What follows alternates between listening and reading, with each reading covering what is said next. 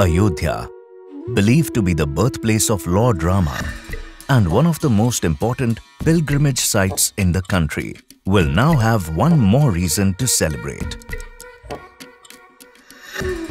The Ram Janmabhoomi Mandir, designed and built by India's foremost technology, engineering and construction conglomerate, Larsen and Toubro.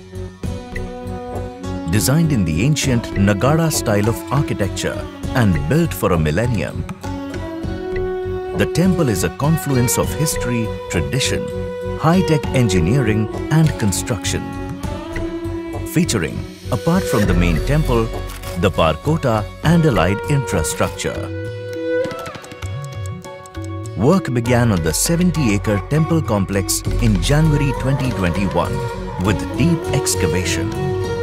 Since steel and reinforcements had to be avoided to prevent corrosion in the foundation for such a long-lasting structure, we instead engineered a special multi-layered foundation. First was a specially mixed 56-layer engineering fill made of sand, aggregates and cement. Each layer was subjected to 14 density tests against the 5 required to ensure top quality compaction.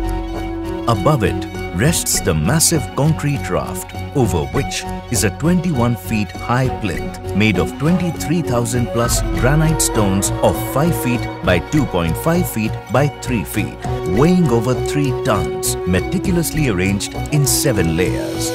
All the stones are interlocked for structural integrity to withstand seismic activities of Zone 4. The ground floor features 166 pillars, the first floor 142 and the second floor 82, including 6 Makrana marble pillars on each floor. Adorned with intricate carvings of over 10,000 murtis and themes, a testament to India's timeless heritage. The temple is a modern marvel that will guide the spiritual and cultural aspirations of future generations.